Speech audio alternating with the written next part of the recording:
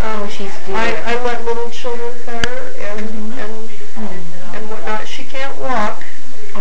um, because of her because of her, her leg deformities, but she's just the sweetest thing in the whole world. Where did you get her?